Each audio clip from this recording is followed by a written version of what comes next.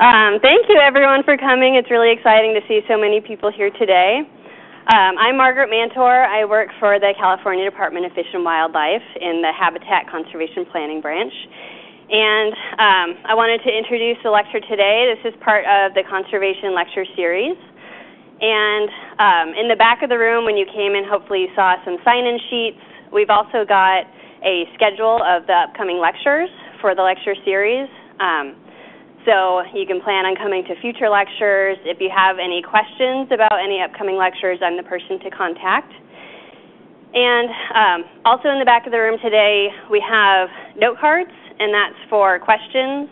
If you have a question for the speaker, um, if you could please write it down on one of the cards and then pass it over to either side, and we'll collect those at the end and read them um, so we can have our speaker answer questions. And, and Juan has some as well that he can pass around.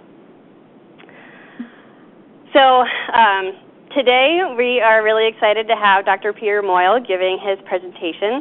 Dr. Moyle has um, worked on the ecology of California's freshwater fishes since 1969, and he's a professor at the University of California at Davis in the Department of Wildlife, Fish, and Conservation Biology. And he's also the associate director of the Center for Watershed Sciences at UC Davis.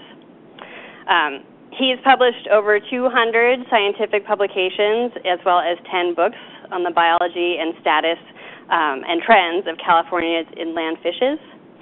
That includes Inland Fishes of California, um, which is a benchmark reference on California's freshwater fishes. Most recently, his lab has been conducting statewide assessments of um, fish status, and they're using a new methodology for predicting impacts of climate change uh, native and alien fish species. So we are very pleased to have him here today. Thank you.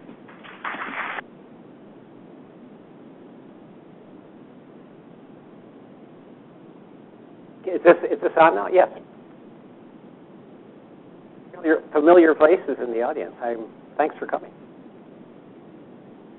We talked before, so I hope some of this will be I first wanted to do what I should not do, which is try to explain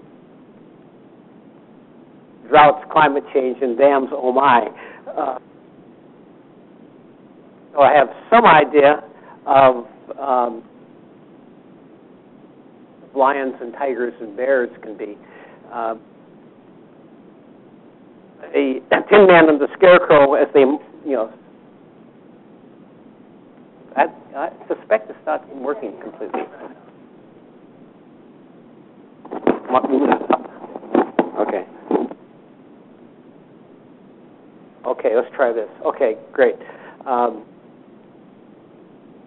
they march on. They uh, they chant, make this chant. Actually, meet the lion. It seems to be. Uh, We're gonna have you use this. Okay.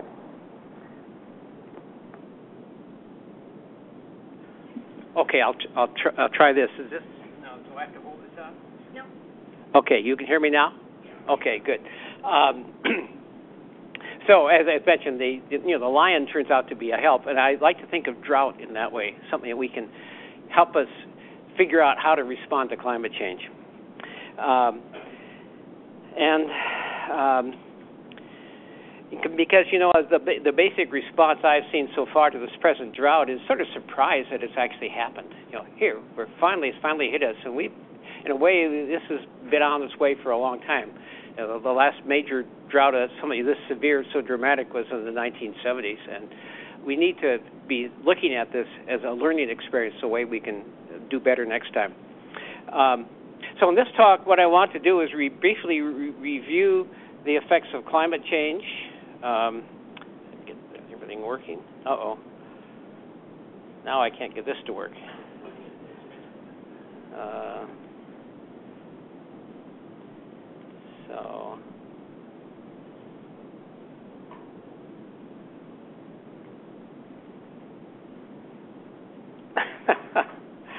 Everything except the slides. Okay, so this will work out? Yes. Okay. Okay. So this is what I want to do. I could talk briefly about the drought, Um, then uh, talk about why climate change is especially hard on our uh, native uh, aquatic habitats and fishes. Um, then, I, but I, what I really, really want to do is spend time talking about solutions. That's really what I'm interested in, um, and how what we can do to reduce the impacts of drought and climate change uh, on our native fishes, assuming we make the decision that we want the native fishes around. Because that's really it's a societal decision. We can we can maybe maybe we'll, we'll all be perfectly happy with largemouth bass and carp everywhere. Uh, I hope not, but that's a choice we'll be making. Um, and I do I tend to end on a fairly optimistic note by introducing the concept of reconciliation ecology uh, as a basis for future action. Um, well, here's the drought. you know, it's really the third dry year. Uh, it's been we had a little bit of rain, it made us all you know boosts our optimism a bit, but that really wasn't enough to do as much as it needs to be done. And we have to hope it'll keep raining steadily for the next three months or next month and a half or so. Um, you had a whole year without significant rain, as you know, and that's uh, should be a wake-up call. Uh, the reservoirs are nearly empty, and these fish versus people arguments are rising up again, as you, you heard from all the legislation going on in the federal government right now. Um, you want to blame the fish for the lack of water for people when it's really our bad planning uh, or inadequate planning, I should say, maybe to be more diplomatic, that that has these things happening. Uh, and but uh, we have to recognize that under climate change scenarios, uh, these conditions are likely to become chronic or at least more frequent. Uh, and that's what we have to start expecting to start working for. This is so we should look upon the drought as an opportunity to figure out how to do things better. Um, well, first off, climate change, I'll tell you the obvious to start out with. It's already happening. It's, CO2 is continuing to rise. Human populations are continuing to grow at the same time. Um, our, and it's also worth pointing out our models for climate change generally only go to 2100. There's some other ones now around, but you know, and there's no sign of things magically ending at 2100 either. So we do have to figure climate change is an ongoing thing, unless we can really do something about it. And this is generally not good for good news for either fish or people. But again, we have to keep in mind this is if present trends continue, and if uh, maybe and they it, it depends on whether we can solve these some of these problems or not. But I want to talk especially about predicted effects on aquatic ecosystems. Um, uh, and the, the list right here is I'll just go through this fairly fairly quickly. Um, first off, is sea level rise. Um, it depends on which model you you, you're looking at, but sea level's already already been rising. It's been rising for the last century, as a matter of fact. Uh, but uh, up to 1.7 meters by 2100. Uh, that's very significant, and those are probably conservative estimates. Um, and with this rapid rise of sea level, much more rapid than it has been historically, and with the hardened, hardened fringes of all our estuaries, that is, we've urbanized our estuaries, we have hardened fringes, we have uh, there's not much place for the for the estuarine habitats to expand up into uh, other places now. Um, there's going to be a net loss of estuarine habitat uh, as a result of sea level rise, and we uh, have to take that into account. Um, and I'm not going to say much more about that, but I'll say just mention it briefly towards the end of the talk too. But it, it, it is very significant when you think about our anadromous fish and other species that have to pass through the estuaries. Estuaries statewide are a very important habitat that we're that's going to be diminishing. It's going to make it even harder uh, to restore some of our uh, native fishes. Well, precipitation is the other another big effect of climate change. Of course, there's less annual precipitation on average. Uh, the question is always how much left, and the model less, how much less, and the models give you varying results. It's, they're much less certain about precipitation because there's so many complicating factors here. But I think you can count on things being more variable at the very least. Uh, we still have our Mediterranean pattern of precipitation will continue with you know most precipitation in winter and spring, but the the details of this pattern are going to change dramatically, uh, and that's going to make a huge difference to the fish. Uh, and, and one of the most important things, of course, is to recognize that um, we're seeing less snow and more rain. Uh, you know, currently the biggest single reservoir in California is our snowpack, uh, and that's very important for fish as well as for people. So as we lose the snowpack, and they're talking about up to 90% loss in the Sierra Nevada, uh, which is our biggest snowpack, that's going to have a huge impact on the way uh, we manage our water. Uh, and stream flows then, because of this, are going to be, going to be more variable. Our peaks peak flows are likely to be larger in some years, not all years, but generally larger, and they're going to be earlier, uh, a month or more earlier than they are today. Um, again, if you're adapted, your fish adapted for a particular flow regime, that can be distressing. And the base flows are going to last longer. That is, low flow conditions are going to last longer, uh, and they're going to be lower. Uh, and obviously, some streams are going to dry up that are now permanent. So this is the reality we're facing there. Uh, for example, here's, this is a um, hydrograph that uh, Rebecca Quinones has uh, generated for the Salmon River in, in the Klamath Basin. Uh, just one example, you can see here that the uh, climate change, the CC, uh, the altered flows, push the peak flows off uh, a month earlier uh, than they are for the historic flows, and then the, the, the rest flows of the rest of the year are, are going to be lower than they are with the summer flows being especially low. And this is a very typical kind of shift in the hydrograph we're going to see. And this is something the fish have to adapt to, or or we'll lose them. Um, and of course, uh, the what we know most about climate change is the effects of temperature. This is where the models are probably the most accurate. Uh, they're expecting a 40 to, 4 to 6 degrees rise in average air temperature by 2100, which means a 3 to 5 degree rise in water temperatures. Of course, this depends on stream elevation and stream size and where that stream is and so forth. But in general, stream temperatures are going to increase. And this means lethal temperatures will be more frequent. You look at the Klamath River, for example, which is already in many years marginal for salmonids because of its um, uh, high temperatures. Uh, it's going to be pushed over the brink in many years. This, the, the picture here is, of course, is of that big um, salmon kill in 2002, which was the result of high temperatures coinciding with low flows and then uh, resulting in a massive outbreak of disease. You know, it's a very complicated situation, but the, basically the message is is that high temperatures can help and low flows can trigger uh, major die-offs of fish. Um, and the, the, most importantly, there will be this general loss of cold water habitat, and cold water meaning water that's 18 to 20, less than 18 to 20 degrees in summer. Um, our, our native salmonids are surprisingly resilient to temperatures. They can stand warm temperatures for a while, but ultimately you need to maintain these cold temperatures uh, if we're going to want our native salmon, the salmonids, to be around in the future.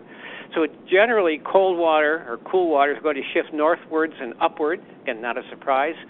Um, and that means these habitats become all the more precious as time goes on. And one of the results will be as you get as our low, lower elevation streams get warmer, uh, they're going to become more dominated by non-native fishes. Uh, so let me now talk briefly about the effects of climate change on our native fish, uh, which is what I'm especially concerned about. Uh, first of all, I always like to remind people that we have a very special native fish fauna here. That roughly 80% of our fish are found only in California or in one adjacent state. Uh, that means these most of our fish are endemic. It means that there's no refuge for these fish outside of California. So that what if we're going to save these fish, may have them around in the future, it's our job to do so. Nobody else is going to do it for us, uh, and that's a very important thing to recognize. Um, and we already know that uh, you know 80% of these fish are in decline. This is a uh, uh, from a study that uh, we did uh, published in 2011, and it basically shows that 23% of our native fishes are already listed. Uh, there's another 22% that you could, I think, that you could make a good case for listing of. and another 28% are vulnerable or in decline. So this is not a fish fauna that's doing well right now. Uh, and you can see this uh, with a series of assessments I made of the California fish fauna over the years. The first one was in 1975. And if you look at the yellow band, that's the vulnerable species. But more importantly, is to look at the blue band below that, which is the number of ESA listed species. So you can see that's gone up from percentage-wise from 9% of the fauna to 24% today. Uh, these numbers vary somewhat in these various slides I show because I it, it depends on the database that I'm using where we have good data for some of these fish. Um, and I'd like to point out that there's a um, report that that uh, by your Department of Fish and Wildlife uh, that uh, we're that's going to be issued momentarily. Jeff Weaver, is one of our co-authors, assures me that we're on the verge of getting this finished. Um, and in this report, where we've got 70 accounts now of species of special concern. Uh, 70 of, and that's out of uh, 129 species. That's not a great record. I mean, this this was even surprising to me when I finally compiled all this stuff a few days ago to see where we were on this. Um, and that includes 28, but there are 28 species that are already listed that are not in that 70. Uh, there are 77 species that are extinct, but only 24 species that uh, our analyses suggest are, are, are okay, doing are doing fine, and probably well in the future. That's more fewer species than there are listed species. Um, and again, I'd like to point out this is based on some very fairly systematic scoring methods that we've developed. So these our results are repeatable. But and it's also worth remembering that extinction does happen. The uh, uh, thick-tailed chub on the upper part of this picture was disappeared from the state uh, in the 1950s. It was once one of the most abundant fish in the Central Valley. Um, and the bull trout uh, in the lower picture, uh, the last one was caught by one of my graduate students in 1974. Uh, this, this was the next to the last fish shown on this slide. Um, so it's a um, uh, we, we do know extinctions happen, and uh, we can't uh, expect them not to happen in the future the way things are going. Well, what's the cause of these native fish declines? It's sort of the one-two punch. The, number, the first punch is habitat loss and degradation. Uh, I'm using this in a very broad sense. Everything from the changes in our landscape, the way we use the land, to dams and diversions, diversions of water, and so forth. Um, and that's always combined with the invasions of alien species. We've got almost 50 species of fish in California we brought into the state um, that are uh, always ready and waiting to move into uh, our waterways wherever they can. And they're favored especially by altered habitats. So you change the habitat, you improve conditions for the non-native species, and is, that displaces the native fishes. Uh, and climate change then becomes an additional stressor on top of the things that are going on anyway. Um, and uh, we've evaluated the effects of climate change uh, in a vulnerability study that was sponsored by the California Landscape Conservation Cooperative, uh, a, joint effort of, of, state and federal agencies. Um, and we evaluated the vulnerability to extinction of all the species of fish in California, 120, or not all, because we some we didn't just didn't have enough data for, but 121 native fishes and 43 alien species. Uh, and we evaluated their vulnerability to extinction um, uh, for over a 100 year period uh, for the next 100 years, trying to figure out which ones are most likely to go extinct. Um, and our basic methods were to compile the literature and observations that created this essentially a library, and hopefully a lot of uh, this library is going to be available too, of everything we could find on these fishes. Uh, and then we scored baseline vulnerability to extinction using 10 different metrics, and then scored clim- uh, additional vulnerability to climate change with another 10 metrics. Um, and I'm not going to get into the gory details of this. Uh, this has been published now in PLOS One, and so it's readily available online. The reference is given on here. But our goal was to develop a repeatable, verifiable score for each species. So in theory, anybody could go into uh, use our metrics, uh, go into the literature to, and you know, using what they know about a species, and rescore these fish to see if you think think we're right. Uh, so this is designed to be a um, a system where it can be checked. If you don't believe me, you can go and check it yourself, and then it can be repeated in the future. So you can actually have we have a baseline that we can work from, which has been one of the problems in the past. Uh, there's lack of a real baseline. Uh, well, when you look at the baseline vulnerability of um, of the 121 native species we scored, you find about half of them are rated as extinct, as critically or highly vulnerable to extinction uh, within the next hundred years. That's without climate change. This is an example. Of, this is the Long Valley speckled dace, probably the most endangered fish in California. It's, unfortunately, it's not formally described, but its um, uh, sole habitat is uh, is is there uh, is there water comes out of a, a swimming pool uh, in in Owens Valley. So that's a hot spring swimming pool. So that's not a great great way to be. Um, but all non-native species were rated as low with a low vulnerability to extinction. So that suggests the kind of shifts we're likely to see. Um, then, when you look at the scores for climate change vulnerability, uh, what you see on, on, this particular graph, which is the um, y-axis, shows you the number of taxa that we scored. uh, and the uh, x-axis is the lumping these scores into categories critically vulnerable, highly vulnerable, less vulnerable, least vulnerable, or likely to benefit. And what you see here is those black lines for critically vulnerable and highly vulnerable are for the non native species. That by and large, uh, 82% of the native species are critically or highly vulnerable to climate change. That's vulnerable to extinction. I want to emphasize that. Whereas the alien fishes is only 19%. Again, not a not a great story. Uh, so what this means then, in short, is that most native fishes face severe decline or uh, or extinction in the next hundred years, and that a- alien fishes will become increasingly abundant, or at least increasingly dominant in our uh, fresh waters. That's again, I emphasize if present trends continue. It doesn't have to be this way. So, what can we do? This is where I get to the part that I really like to talk about, and I hope can provoke some discussion. Um, first off, I um, uh, this background is of, of, a book that's been published, um, and uh, so my first recommendation is be sure you're well informed on California's water issues. Uh, they're horribly complicated, and they're, they're the, but the life of our native fishes really depends on having a lot of people understand um, how our water system works and how it can be manipulated to, uh, to favor native fishes. Um, this book, uh, Managing California Water, is, is, available online. It's published by the Public Policy Institute of California with a diverse set of authors from the uh, uh, Center for Watershed Science and the Public Policy Institute. Uh, it, it, uh, even though I'm a co-author, I think I can recommend it uh, as a very readable summary. The PPIC does a great job with graphics. If you haven't seen this book, it's worth at least worth browsing through, and the price is right since it's free. Um, but take a look at that online sometime. Um, and the kind of things that I've been working on for a long time is finding out uh, ways you can have a, develop a statewide strategy for aquatic conservation. That's what we really need. Just doing things piecemeal, piecemeal ultimately is going to fail. Um, and the kind of goals we need to be thinking about for a statewide strategy is to protect, protect examples of all major habitats and I've, I did a classification system with John Ellison of this department a uh, long time ago, in which we figured we uh, figured out that there were 160 different kinds of habitats in California.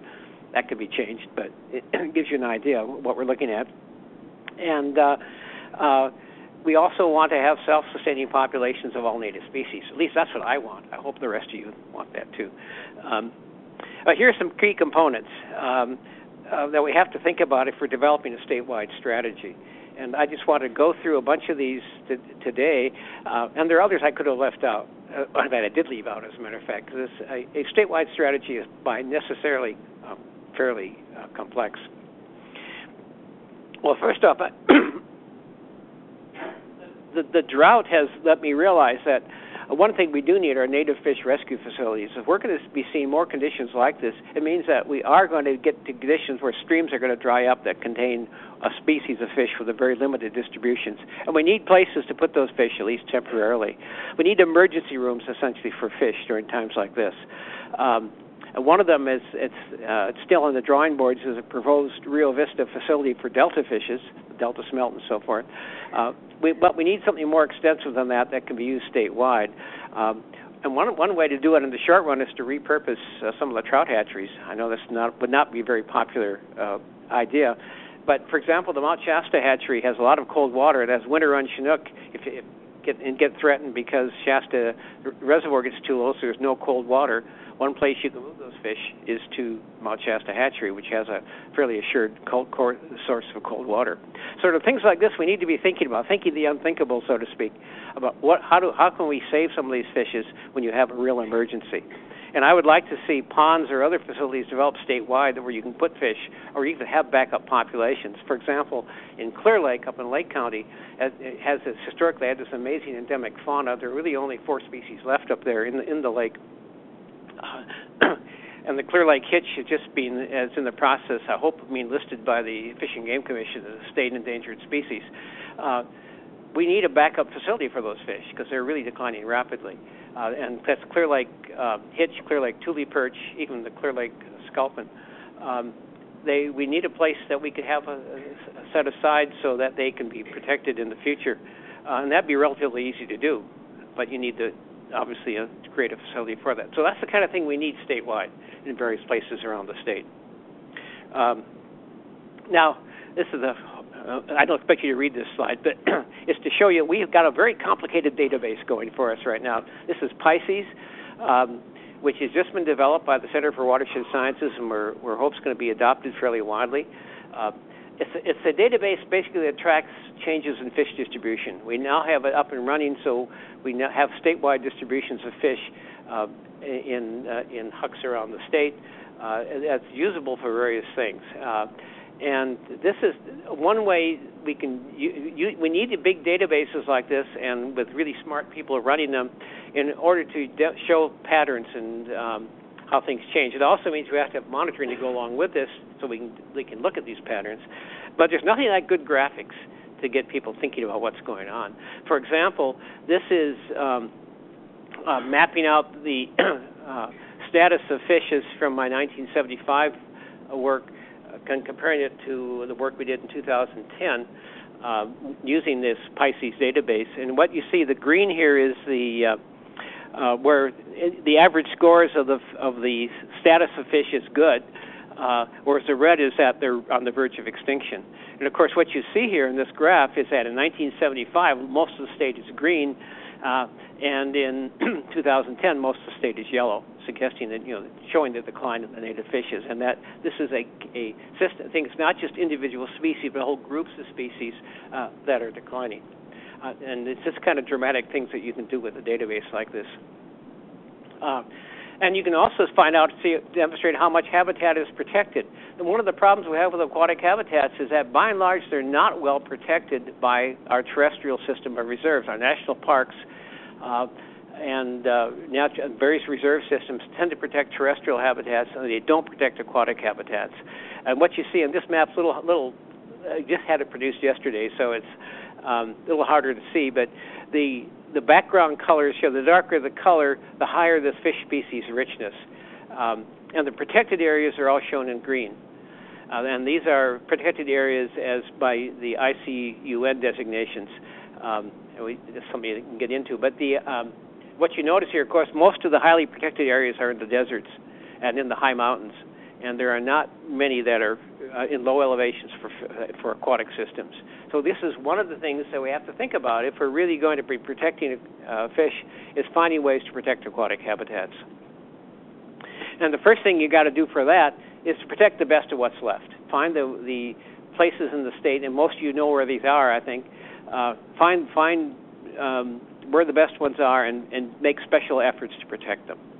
Uh, one of my favorite projects in recent years has been working on Blue Creek. Uh, this is where I've been working with the Western Rivers Conservancy, uh, who in turn been working with the Yurok tribe to develop a um, tribal salmon sanctuary. Blue Creek is a tributary to the Lower Klamath River. It's in the fog belt. It has a good chance of maintaining its flows and being cold uh, for a long period of time. It has the entire suite of uh, salmonid fishes that are in the Klamath River. Um, and now, now it looks like the entire watershed is going to be protected. Uh, this is really significant, and the most significant part about it is the involvement of the Yurok tribe, because they've agreed to essentially be the managers of the system, be the protectors of it uh, for the indefinite future. And that's the kind of thinking we need. We need to be protecting whole watersheds and have a way that they can be protected for the indefinite future. Uh, another good example that involves restoration is Big Springs Springs Creek in the Shasta Valley, where we've been working with the Nature Conservancy on um, uh, some ranches they've acquired. Uh, Big Springs, uh, if you weren't aware, the Shasta River flows into the Klamath. Big Springs in, in the, is an amazing cold water system where the water comes off Mount Shasta, bubbles up out of the ground uh, as cold water. Uh, in the, this, historically, this, all these springs have been on private land, and that first picture here shows a cow. That's what we, when you first started working View, you'd see especially in the winter. The cows are in the river feeding on the aquatic vegetation because the water is actually warmer than the bitterly cold air up there in the winter. Um, and these spring systems are just trashed. Uh, it's, it's hard, and, and that the picture in 2000 showing you 2009 is what the system was like when Nature Conservancy first acquired this area. Did a very simple thing, fenced it off from the cows, and it, it recovered much faster than we ever anticipated it would. Uh, and the, as a result, now uh, it's very rich in aquatic vegetation. The channel's narrowed down. There's a huge abundance of food in there. Coho salmon and steelhead and Chinook salmon are all been spawning in there and rearing their young. So it's a remarkably successful recovery. And the key here is protecting a cold water habitat, and that's what we need to see more of. Um, so this means one of the main sources of cold cold water, of course, we have in the state is our dams, the cold water pools in our dams. So that's going to be increasingly so in the future. So we do have to be thinking about how do we manage environmental flows below dams? How do we reserve water in these dams uh, to protect our native fishes? This slides here just show Folsom Reservoir and the American River uh, as it looks. I don't know what it looks like quite now after this rain, but it's been uh, been pretty low. Um, and we have a study going on at the Watershed Center by uh, Ted Grantham, who's a, a, a, uh, a postdoc there. Uh, and he's got this amazing data set he's put together on the characteristics of 1,400 large dams in the state. Um, and we've been looking at uh, w- which are the dams that would be we could provide the most benefit for native fishes below those dams. Uh, we've got 200 candidate dams right now, and we've got 20 case histories we're working on. Uh, this the, st- the study should be published fairly soon. But here's the idea: is that looking at systematically statewide, which dams can you use uh, to uh, provide environmental flows for native fish and everything else you need. And I always like to remind people that we have California has amazingly good legal tools for doing this. A section first off is Section 5937 of the Fish and Game Code, which was used successfully on Putah Creek. Um, and, and elsewhere, and, and the Mono Lake decision. This is a law which really says uh, that makes no discrimination between drought-stricken rivers and good times. It says you got to maintain fish populations below dams, uh, and uh, I hope we can use that in a constructive way in the future. It's really part of the public trust doctrine. If you don't know about the public trust doctrine, get yourself informed. It's also a very important uh, tool to use for this kind of thing. And of course, if we don't use tools like this, we end up using the Endangered Species Act, which tends to be pretty drastic. And it's much better if we can avoid using that, uh, as, except as a, as a very last ditch uh, arrangement.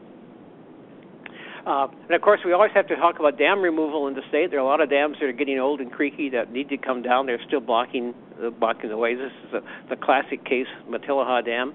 Uh, Rebecca Quinones and I and a group of graduate students have a paper in press on dams to take down in California uh, to benefit salmonids. There are a bunch of them. Again, it's expensive, it's hard, uh, but it needs to be done. Um, and the reason for this, of course, is that most of our anadromous fish habitat, the best habitat, is down is above the dams.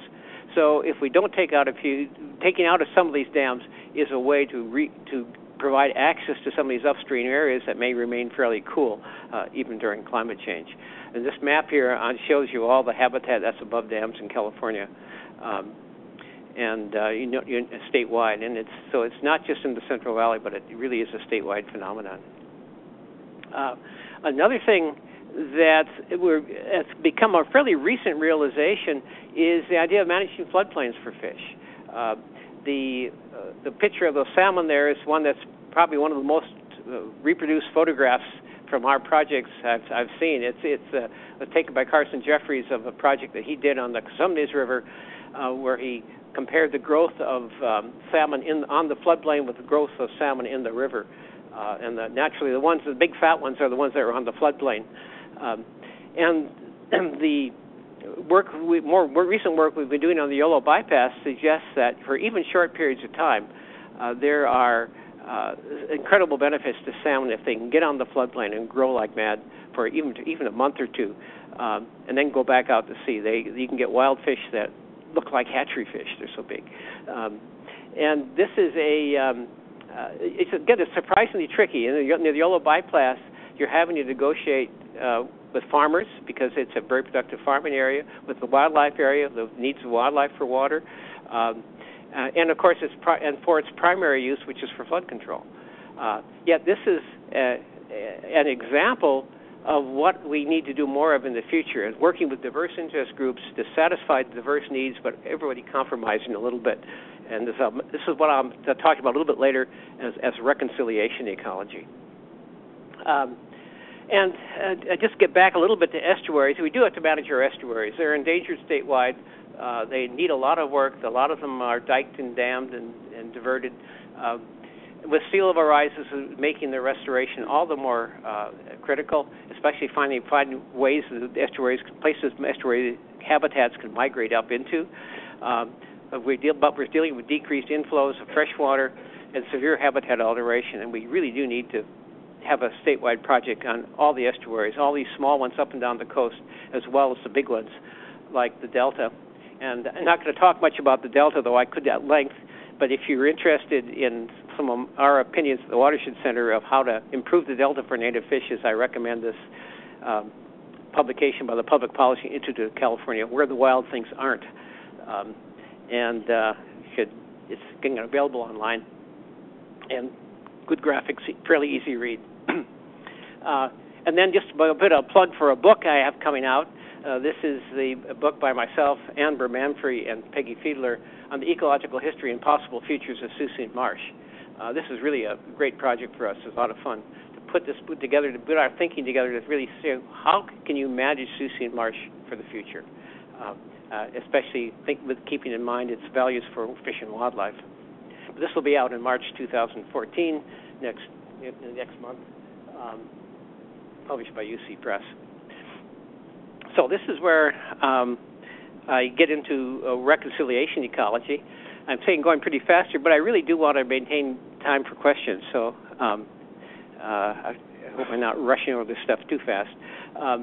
But reconciliation ecology is a basic approach to conservation that, in a way, is nothing new, but it's just a good way of thinking about things. Michael Rosenzweig, who, who, who, coined the term reconciliation ecology, said he deliberately picked a term that sounded really good, that has a lot of meaning to it, but at the same time, people can interpret it in various ways. Um, and basically, the approach of reconciliation ecology is to recognize that we humans now dominate all ecosystems.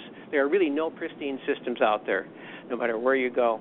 Um, and most ecosystems, um, as a consequence, are what we can call novel ecosystems. That is, they are uh, systems that contain lots of a mixture of alien species and native species, and they're highly altered or altered at least habitats. In other words, you have species living together, groups of species living together that are not co-evolved. They they've been thrown together by human uh, endeavors, and they're living in habitats that aren't like the historic what the historic habitats were like. So that gives us novel ecosystems. That means we have to treat them differently. We have to really look at what we want out of the systems. Uh, we need to look at how we can manage them in ways that favor the species we want. And this means we're in charge. That we are we are the ecosystem managers. We're, we, we're, we're increasingly going to be playing God on ecosystems all over the world, uh, and we have to recognize this and make these choices, have firm goals in mind of what we want to get out of these systems. Otherwise, they'll just degrade, and we'll lose a lot of the things uh, that we want. Um, and climate change, of course, just increases this need uh, for really managing systems effectively. And um, I, I emphasize we get to we're we're figuring out right now what species we want to save, uh, which ones we will want to have with us in the future. I hope it's going to be our native fish, but there's no guarantee of that. And and and let me finish this in part by talking about the best example I have of reconciliation ecology, which is Lower Putah Creek. Now, this Lower Putah Creek uh, by the Davis campus is um, did not start out as being a classic reconciliation project, but it sure worked out that way. Um, this is a creek which is regulated by dams, the uh, Monticello Dam uh, in the upper watershed, and then the Putah Creek Diversion Dam, which sends all this water to uh, Solano County. Um, the the region I'm talking about is below the diversion dam down to the Yolo Bypass.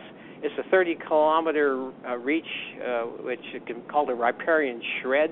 Uh, it's just this long, narrow habitat. I'll show you a picture of that. It's not natural in almost any of its aspects, um, and it's truly a novel ecosystem. And the slide I'm showing you was taken a couple of weeks, uh, taken a couple of weeks ago, uh, showing you the uh, uh, the creek before the recent rains, but it's what's what's you notice here is it has water in it, and it's got fairly good flows, uh, and that's because of the way it's being managed. Uh, and I like to think it is this model for, recon- for a reconciled aquatic uh, and riparian ecosystem. this is what it looks like, and when you get up in an airplane, this was January uh, 2010 after a nice rainstorm. Um, and you notice how green everything looks compared to what, it's been looking this year. But notice that shred of habitat. It's just this very narrow ribbon of habitat through this intense agricultural landscape, uh, highly developed landscape. There's not a lot of room for fish and wildlife in this kind of a system. So, but we have to make do with what we have. And this is a this is the kind of system we try to maximize its benefits to fish and wildlife. Um, and part of the thing you have to recognize in a system like this as well is that how many alien species there are here. This is just a graph that catalogs the percentage of alien species in all the major groups, from plants to uh, mammals. Uh, and what you see is that the, the ones that are, have the highest percentage of, of uh, alien species are the herbaceous plants, not surprisingly. Think about the grasses in the foothills, which are almost all non native, uh, and the fish. Um, but, but all these species, even the butterflies, have a high percentage of alien species. That means this is a novel ecosystem. It's a system made up of native and non-native species that we have to figure out how we want to manage it, uh, uh, and how we and what we want to manage it for. Uh, we know managing the flow, we can manage the flow for native fishes. This is one of the great things that happened. As we, we of course had a had a lawsuit and a trial, but once we got a settlement agreement that, that when we set up a natural flow regime for the fish, um, in, in, in a good chunk of the creek, we've seen a, we're able to, by the manipulating the flows, get a shift away from the alien species which are dominating the stream and towards the natives. So, and the interesting thing about this to me is always the water costs have not been all that high. Uh, a lot of it was just manipulating the water uh, in ways, uh, the existing water supplies in ways that were beneficial to the fish. In this case, we had to get more water for the creek in general, but the, but I think the water agency is now a, a full-blown cooperator on these results, in part because the water costs are not as high as it might have been anticipated. But the good thing is, this suggests that we, with smart use of water, we can get native fishes back and maintain them. And uh, uh, the Putah Creek is also more than just about fish, although that's how it started. Uh, it's now about wildlife and so forth. There's a lot of interesting work being go- done to increase wildlife population, including nest boxes, great community involvement in all this. And what you see, the numbers of, of a variety of hole nesting birds has gone up dramatically along the creek, largely because of what they call the nest box highway along the creek. Um, so, but the flows, getting more water in the creek started the whole situation and improved the riparian vegetation. It made it possible then for people to get excited about the creek, build nest boxes, and, and improve the conditions for these um, uh, for the native birds. So the question is, what does it take to manage Putah Creek as a reconciled ecosystem? Uh, and it's not again; these things are never easy. But I think that's why this creek gives such a, a such a good example. First off, it takes vision, and that vision was really stated in the Putah Creek Accord, which was followed the the, the, the legal settlement, which really said that we that we were going to try to restore the creek uh, into a functioning ecosystem. Um, and of course, it takes water, and again, that was a result of the lawsuit but it the result has been but it's smart flows in the creek that really make it work. Uh, and the, the, the rest of these things are things that it has taken to make this really work. First off, the water agency cooperation. Uh, after this really fierce struggle in the courtroom, uh, we now everybody is working together, and the, and the Solano Water Agency is a is a prime uh, cooperator in making things work out there. Uh, one of the best things that happened was the uh, was uh, adopting the idea of a stream keeper which is you, there's a full-time employee actually now works for the, for the Solano Water Agency, a full-time employee who does nothing but look after the creek. This is a fellow Rick Marovich who goes around and raises money do restoration project. He talks to the landowners when there's any complicated issues. He works on fisheries issues. He works on everything he can to, to bring people together. His job is to make sure that the, the stream has a functioning ecosystem that works. Um, and that's really quite amazing. He's, of course, an especially effective individual. But the idea of, I love the idea of every stream in California having a streamkeeper, somebody who's in charge of the stream uh, to make it work in their local communities. And of course, community involvement then becomes a big part of this as well. The Putah Creek Council uh, is a very active organization. It has been from the very beginning, but there's lots of people out there planting trees and doing all kinds of things in the creek. Whenever there's a need for volunteers, uh, there's a call goes out and a lot of people show up. Uh, landowner cooperation is always a, an issue, And Putah Creek is mostly flowing mostly through private land. We could not be doing what we're doing without private landowners, and they're doing a lot of restoration on their own land uh, of or riparian habitat. So once again, this whole thing is sort of just been building up as people get more enthralled with what they're what the creek is doing. They become cooperators. Again, uh, the streamkeeper has a lot to do with this because he's the person who works with the private landowners and assures them that what they're doing is good. Uh, and finally, the as part of the accord, we got a monitoring program going where we monitor both the fish in the creek and the wildlife, so we know what's going on. Uh, we have good trend data on all the uh, all the major species, uh, and that's something that's very unusual. We need to do more of in this state. So um, that's reconciliation ecology, and I like to um, sort of close by making the plea that recognize that if we're going to do wide-scale conservation, you need money, uh, and and lots of it. And frankly, we're in an era where apparently we're going to go into building a lot of new water projects of various sorts, whether it's the tunnels through the delta, new dams, or whatever. They're going to happen. Uh, it's hard, hard to see it not not happening unless we get totally screwed up in some of our political battles. Um, and we need to make sure that that that the fish are part of the, the this this all this money that's going to be made available for projects, and these projects consider fish as part of it, both in the short term and the long term. We need to hitch our wagon to these particular stars. I think. Uh, I hate to do hate to talk about it that way in a way because I'm I would like to see less of this going on, but the reality is it's going to happen, uh, and we should hitch our we should try to find any way we can to get the large amounts of money we need to do an appropriate job of of, of managing the fish uh, in California and their aquatic ecosystems. Um, I might point out a good way to get started thinking about this is to read uh, the blog that was posted this morning uh, on the Center for Watershed Sciences website by Jay Lund and Ellen Hanak and so forth on why give away fish flows for free during a drought. Uh, this is all about making trying to find ways to raise money for fish um, with using the tools that we have. That's the California, Water Blog. Okay, so in conclusion, then, um, we need systematic actions to save California's endemic aquatic species. I'd like to think we can do it.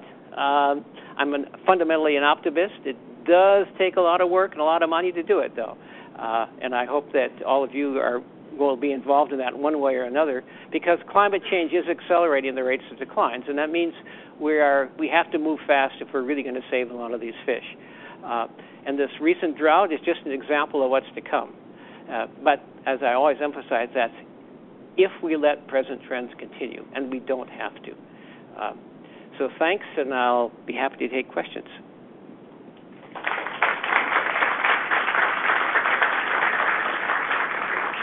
I went through a lot of stuff very fast. yeah. Can I pause you for just a second? Um, and then it's just okay. because the people on WebEx won't be able to hear questions. Oh, okay. you could repeat them, that would be great. I need to repeat the question. Okay.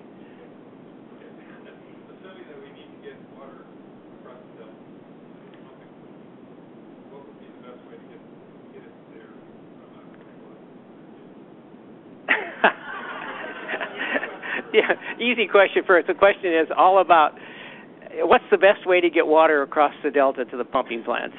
Um, that's an engineering thing. Um, you know, I, I I don't know the best way to do it, whether it's a big pipe or a small pipe or a canal. Uh, but but we do need to change the way that. Uh, what I do know is that we do need to change the way water moves across the delta. We need to find ways to um, get the estuary working again, get the delta working as part of the estuary so the dominant flows are upstream, downstream rather than across the delta. And unfortunately, that un- involves some kind of large scale, scale manipulation uh, of the of the water. Uh, well, and and you, you look at the, the, the proposals for the big um, tunnels under the delta, for example. Uh, the, in, at, at one high level, they make a lot of sense because of the that we've gone so far with the water system already, and the delta is so such an altered ecosystem that that combination of things says we got to do something drastic, and those big tunnels may be one way to do it. Then the, then the big question is then because who do you trust? That's what I really what it's all about. Can we, if we build those, will they be operated in the best way possible for the ecosystem? And that's always, to me, the biggest single problem. but the trends right now are in the delta is a place where the trends don't look good for native fish. So we got to do something, um, whether it's the tunnels or something else. But whatever we do, it's going to take lots of money uh, for habitat restoration and, and lots of water, presumably for the fish. Unfortunately. Other comments, questions? Blew you all away. Yeah.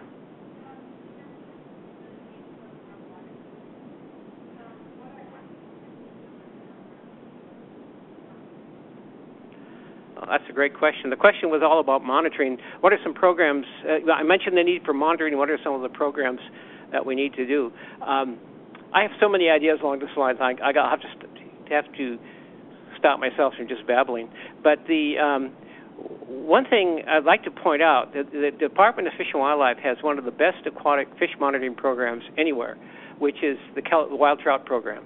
Uh, which does a systematic sampling of streams around the state, cold water streams, of course, uh, using three pass electrofishing. It has this amazing database that needs to be more available, actually, than it is.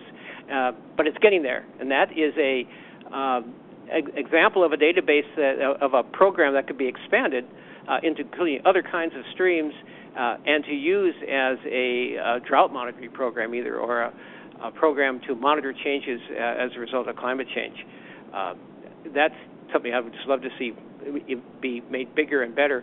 Uh, there are lots of other opportunities out there. This is, you know, the the need for information on our streams is very high, and I see this as a wonderful opportunity for citizen monitoring, um, or for uh, all these biologists who are out there working for consulting firms or agencies. Something you know, they they do when they're bored bored on a weekend, go out and sample their local stream, and deposit in a systematic way and put that data in in a, uh, uh, in a database even going to there's things like this that are developing right now, but just going out and taking photographs of streams uh, with standard photographic points, so you can see how the streams are changing in response to drought and uh, other things, would be very helpful. But the point I think is always monitoring is really important. That's why Putah Creek works so well, is that we know what's going on. We need more of that, and we need it at the local and state levels. Uh, and it needs to be it doesn't ideally it would be funded by the agencies but there's a lot of it that could be done just with existing uh, resources and, and using people who are out there. Uh, yeah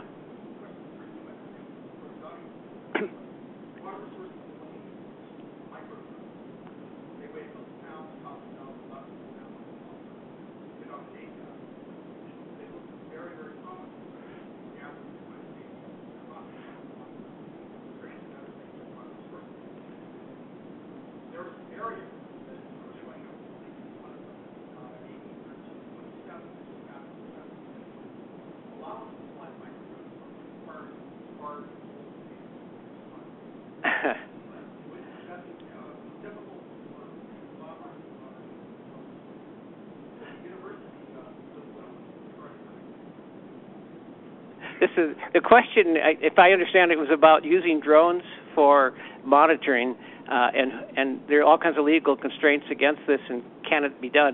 I must admit, I had my first experience with this two weeks ago on Suisun Marsh. We had a helicopter drone. Uh, where we were doing a study of the way um, one of the most natural uh, sloughs in the marsh works, and we had a helicopter drone overhead taking photographs uh, as the tide was rising and falling on one of these big spring tides.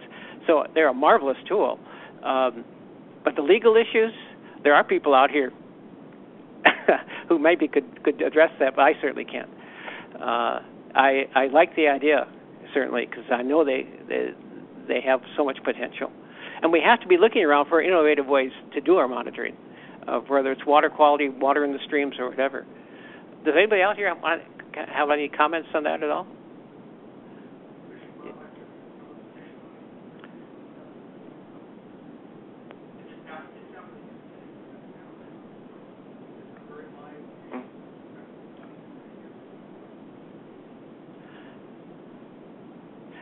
comment back there? Yeah.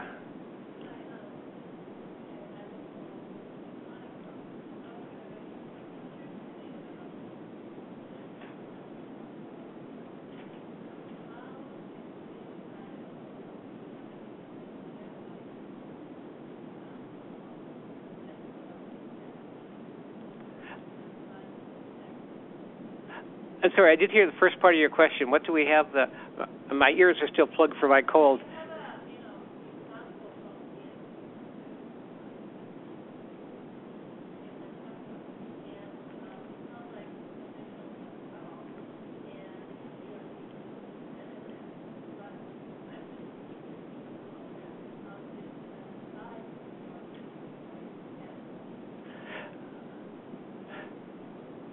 If, I gather your question, you're asking about the Shasta River project uh, with uh, uh, Nature Conservancy, and how did we decide on that as a project? Uh,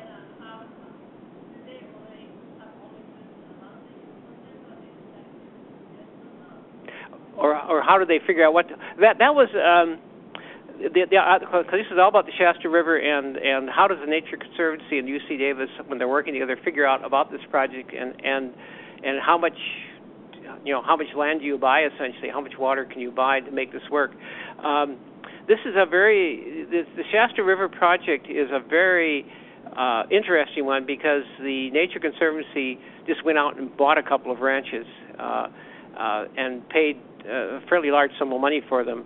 Uh, lar- largely on our recommendation, though, I must admit that we were pushing them to do it. They came to us and asked if it was a good idea, and we just jumped up and down, said yes, yes, yes. Um, and it's and it's, as I as I showed in my talk, it's the, the rest of the restoration has worked much better than we ever thought. Uh, but part of what the Nature Conservancy is doing there is trying to do, do some demonstration projects too, to find ways that so that the local farmers uh, can improve their management practices that will also improve the health of the Shasta River. Because one of the major problems we have out there is that uh, it's mostly flood irrigated pasture and alfalfa and when you flood irrigate pasture and alfalfa, uh, the excess water flows over the fields and then it flows back into the river. And by the time it's flowed over a field where the blazing sun, it can be 30 degrees centigrade. Uh, and quickly, the river warms up to a point where it can no longer support salmonids. So the Nature Conservancy then has been looking at ways to manage to, to keep farming on one of these ranches they have, the Elson Ranch, but find ways to do it that doesn't put this return water back in the river. Uh, and they're hoping by example to show other ranchers uh, how they can do that. So that's then that project was decided upon though just simply because we were both the Nature Conservancy and Davis, you see our my group at Davis, we're looking around the state for where are cold water places that have the greatest potential for restoration or can be improved uh, for salmonids. And the Shasta River always came out of the top of our list, partly because it's flows into the Klamath. It historically was, though a relatively small river, one of the big salmon producers in the river system, uh, and it declined to almost nothing. So here was a situation where it seemed you could do a lot uh, for a relatively modest investment, although I guess TNC did not regard their investment in that those ranches as modest at the time. But it was a wonderful thing they did. Yeah.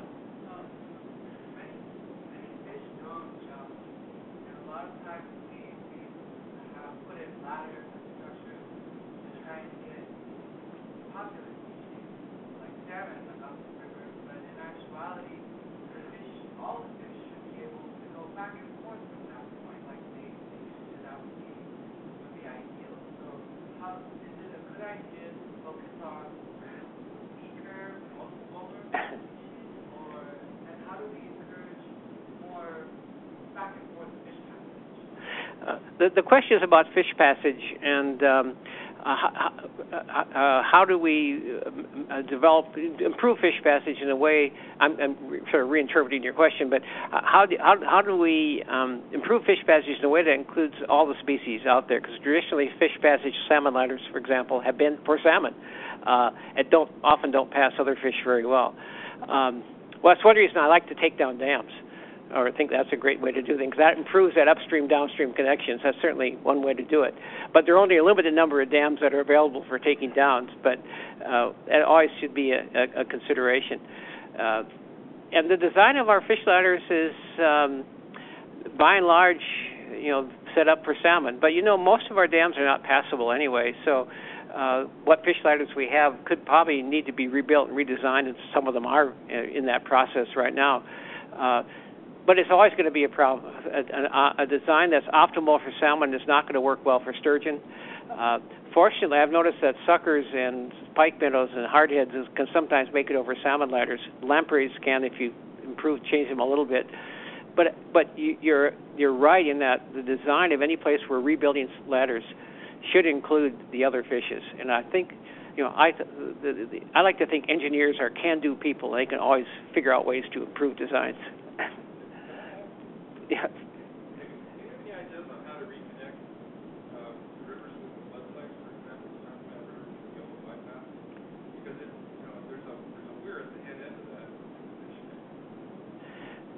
the, the question is uh, is how do you reconnect rivers to floodplains? But uh, specifically, there's the weir at the upper end of the Yolo bypass is what uh, keeps the bypass from flooding a good deal of the time. Of course, that weir is set up so it will flood at, under high flows.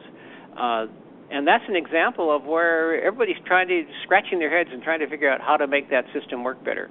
Uh, do you put a, a notch in the weir? Do you create a series of, of gates that allow water to flow through uh, at the appropriate times? If so, if you do it during low flow events rather than high flow events, how much flooding do you allow, and how do you how do you know those fish are actually going to use it? How do you get that fish through those gates and onto the bypass? Uh, those are questions we still don't have good answers for, but um, I think they, our work on the Cosumnes River has certainly demonstrated that in places where you have natural uh, flooding, just breaching the levees is often enough to do it but generally it's much more complicated than that. On the, on the, the levee breaches have created this marvelous floodplain, but it's small. Uh, the Yolo bypass is the future because it's so large, but it's also the kind of floodplain that has to be highly manipulated. Um, and we'll see more of this, and we're t- they're talking about it on the San Joaquin side and so forth as well.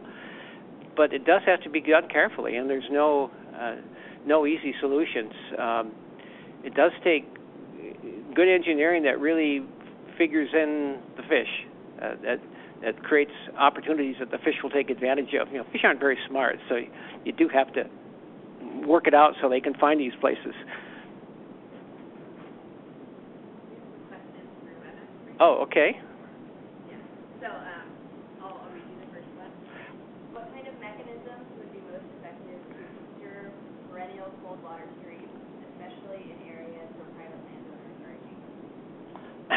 what uh, so what methods are most effective for perennial cold water streams? Uh, well, when private landowners are involved, you have to do what we've done on Putah Creek is just get them get them involved in the conservation. Uh, and you know, and the same thing's true on the Shasta River. In in general, um, while you always find some people who are going to be holding out no matter what, I think if people are well informed, they're much more willing to cooperate and, and do what they can. Uh, I think the part of the solution is to really identify where are the best places. Uh, that's what, which in the Shasta River, that's what the Nature Conservancy did. They determined that Big Springs was the best place in that whole river system to, to focus on. Um, and we need so we need to have a better idea where these cold water streams are. What are the best ones to protect, and where can we put our money? Uh, because part of the solution, of course, is to buy water rights or even to um, lease land or, or lease the water from landowners. You know, find, in other words, finding ways you can cooperate with landowners to make these things happen. Uh, I think we need a toolbox, a whole variety of things that we can use. Uh, but it's only going to happen if we really get good cooperation from a lot of different people, and, and especially private landowners. Because I agree that a lot of this land, a lot of these streams are in private land, uh, and do need to be uh, we and we can't really protect the resources there if the landowners are not working with you. Sort of a blah answer, but that's what I can come up with for now. um, thoughts on major off-stream reservoirs, Sites Reservoir? Uh, Sites Reservoir, off-stream reservoir. I don't have any good comments on this really. Uh, you know, because it, it depends on how well you buy the arguments. Sites reservoirs design, the whole idea is to increase flexibility of operation, uh, and that's we do need that flexibility. We do, and we do need flexibility that allows us to use more cold water for fish, whether sites reservoir or temperance flat or these new new dams uh, are solutions or not. I just don't know, um,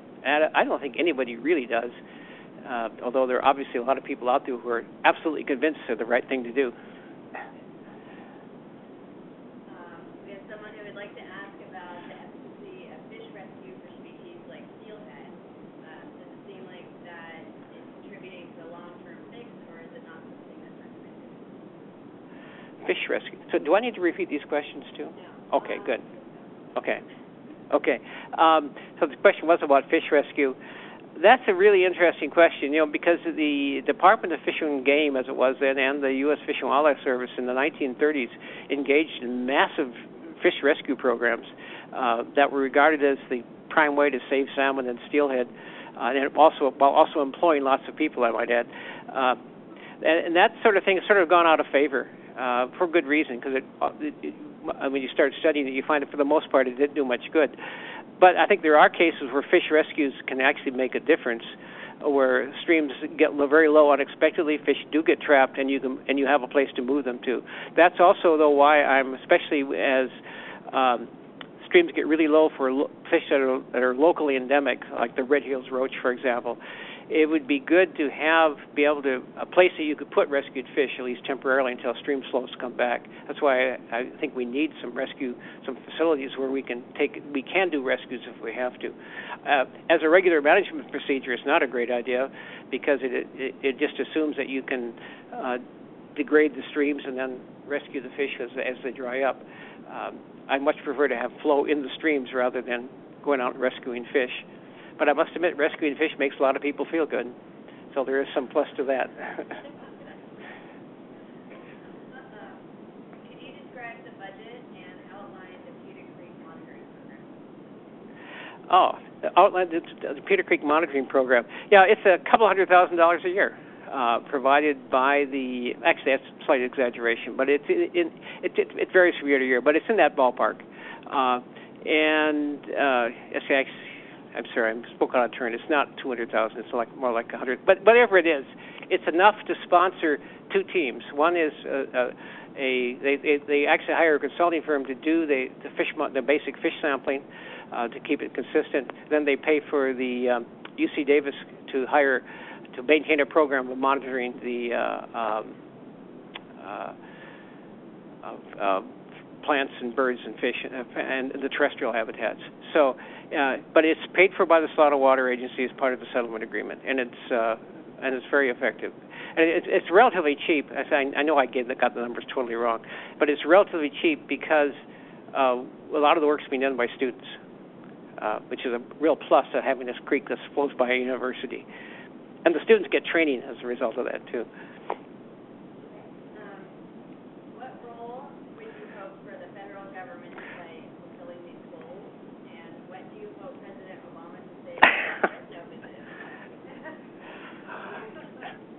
Nobody else want to answer that question?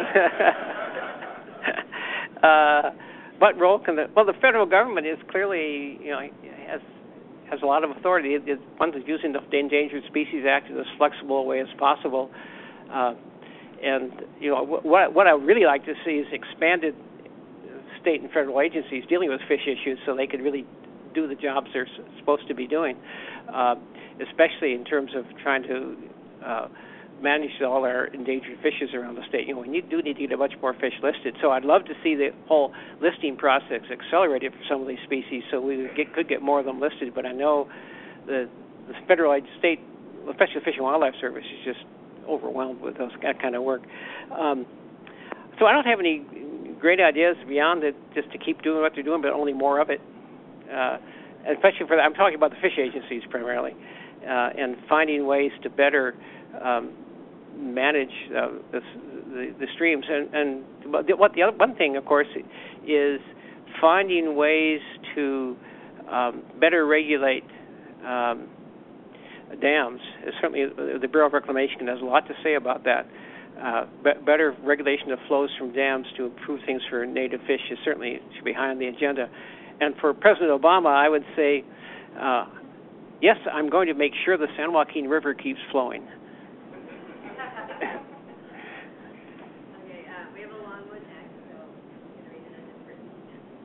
Ecologist by training, and some of that training was provided by you.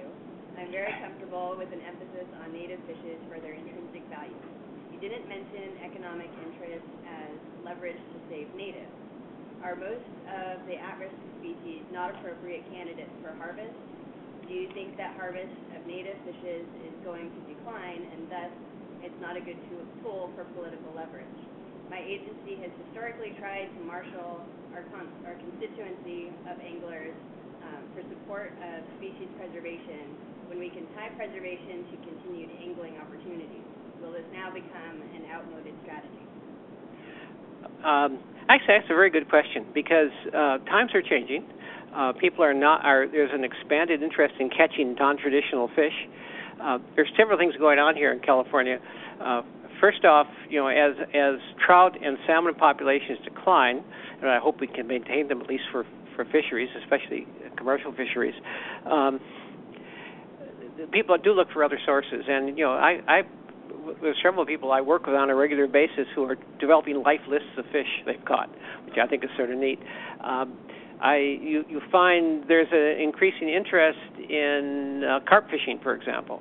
Carp are an amazing fish. They're everywhere. They get big. They're hard to catch. They're smarter than most of the salmonids.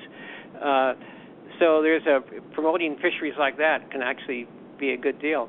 Um, a lot of our native fishes, you know, uh, can be caught uh, either by catch and release fishing, even or by, by I, my, I have a brother-in-law, for example, who fishes catch and release only for carp.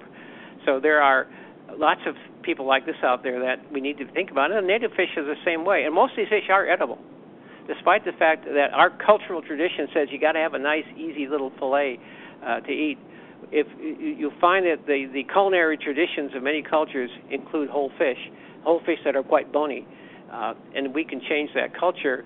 Uh, there are lots of ways that we can use our native fishes and species like carp.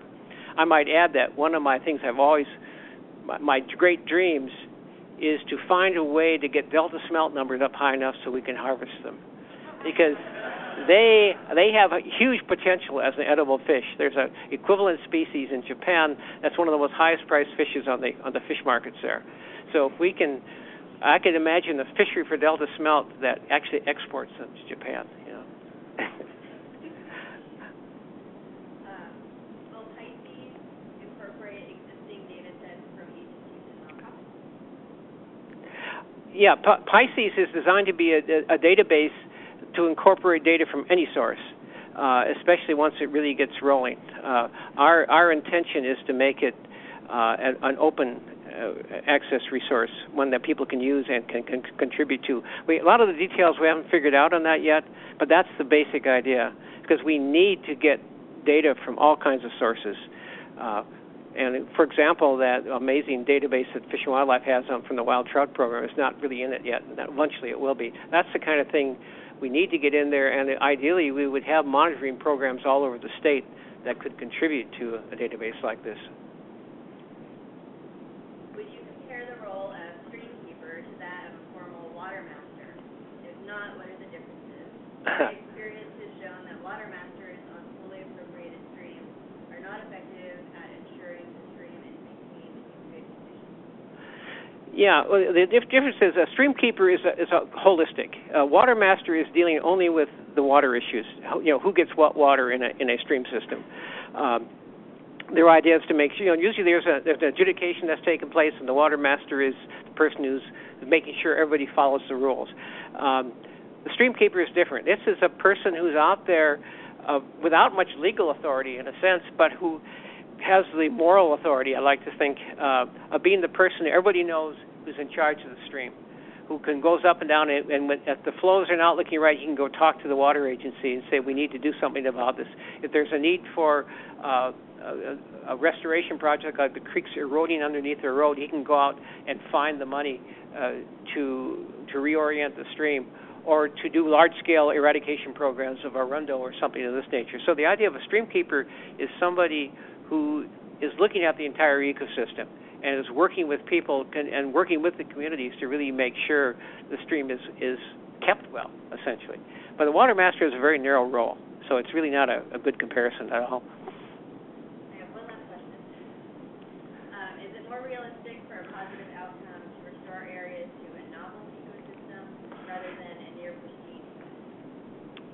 Uh, this is comparing a novel ecosystem with a near pristine. Well, the the problem with the near pristine ecosystem, I'd love it if we could do it, but I just don't think it's possible. There are very few places that we can even approach near pristine in California. Uh, you just have to look at uh, riparian plants, for example, everywhere everywhere you go, they're going to be a 50-50 mixture of native and non-native species. Uh, we temp- t- typically have non-native fish and the invertebrates, crayfish, for example, are everywhere in our aquatic system. So from an aquatic perspective, it's very hard to find anything that's near pristine. So I think, uh, and if you do find one, it's going to be a very small area. So my um, my my general feeling is that realistically, most places we're going to manage for the protection of native biodiversity are going to be novel ecosystems. They're going to contain non-native elements, and they're going to be manipulated in one way or another by humans.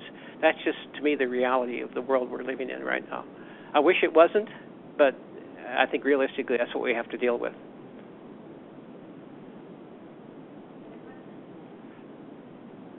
Yeah.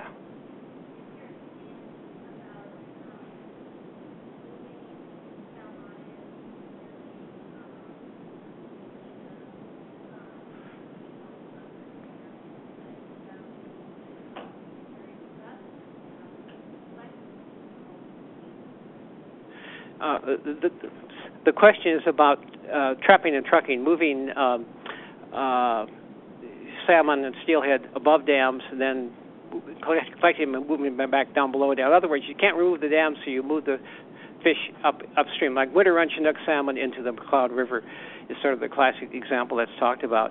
Um, well, it's, I, I could see under times of drought, and maybe something we'll have to try. Uh, I think if things really get tough for winter run Chinook salmon, I could see trying to move them into the McCloud River, for example, or, or the Upper Sacramento River.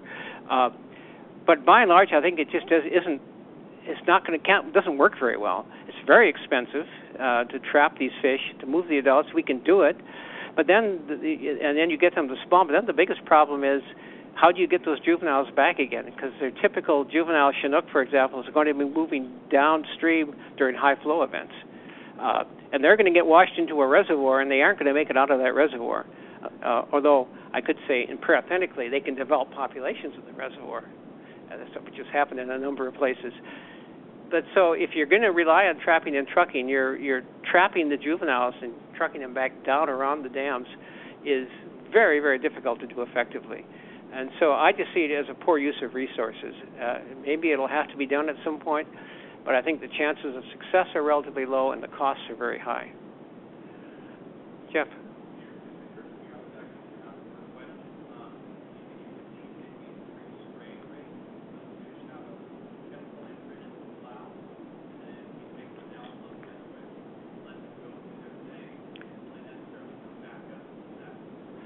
Uh, the question was about will these fish, um, if they're trapped and trucked, will they uh, will they stray more? Uh, the the record would, from hatcheries would seem to indicate that yeah that they, they would need that continuous imprinting all the way down. So yeah, that's a, something I had not thought about, but certainly that would seem to be a logical argument to make. Uh, but if you're desperate, you know that may be the only choice we have at times. I say thank you and close it off. Hey, thank you everybody. Great questions.